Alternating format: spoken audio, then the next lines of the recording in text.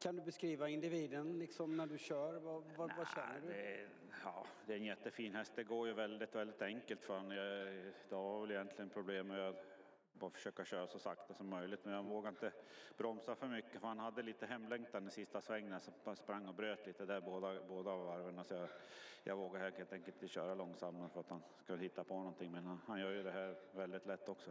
Mm. Är det just det lätta steget som gör att de här hästarna blir så bra? Eller vad ska man säga? Ja, man måste ju ha allt för att vara en bra häst. Liksom. Man måste ju bara ha både skall och löpsteg och hjärta och lungor.